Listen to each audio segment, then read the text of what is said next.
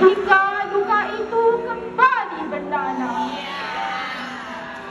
Di manakah umat Islam yang lain?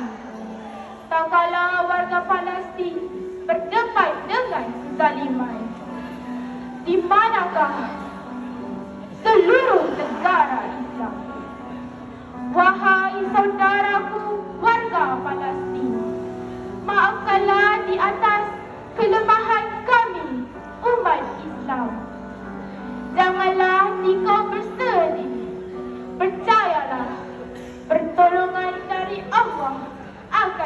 tiba Melenyapkan kebatilan Memancarkan kebenaran. Bersabarlah Wahai Palestin.